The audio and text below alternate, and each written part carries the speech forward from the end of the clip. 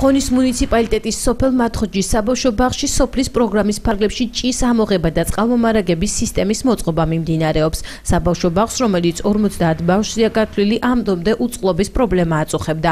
როგორც ადგილობრივი ხელისუფლების წარმომადგენლები აცხადებენ, პრობლემა დეკემბრის ბოლოს აღმოიფხვრება. საბავშვო ბაღში საკვები პროდუქტებისათვის სათავსო გაკეთდა. ობლიდან დავქონდა ჭიდან სახლიდან დავქონდა წყლები.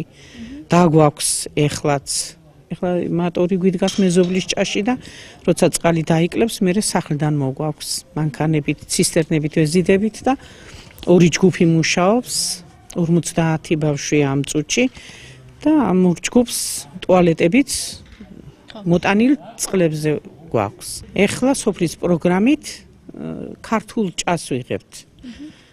და გვიკეთდება კიდე ოთახი პროდუქტის საწყობის პროდუქტის საწყობი ცალკე არ გქონდა გქონდა ერთად არის სამზარეულო და საწყობი რომელიც არავითარ შემთხვევაში არ შეიძლება და ეხლა უკვე ცალკე ოთახი კეთდება. 2000 წელია საუბშუახში წყალი არ გქონდათ მეზობლებიდან გადაგქონდათ და ეხლა ვიღებთ სოფლის ჭას ტრადიციულ ჭას ნუ სოფლის დაფინანსებით და ერთი პატარა საგვიტნო ოთახი კეთდება ამ წუთში მანამდე გადავხურეთ თქვენს კარგად იცით 220 კვადრატი ნაწილი და ნაწილი ალბათ მომავალში გადავხურათ. კიდევ ცოტა ნარჩენი თანხარის ინვენტარს შეუძენთ 12 სკამს, თევშებს და ფინჯანს ბავშვებისთვის.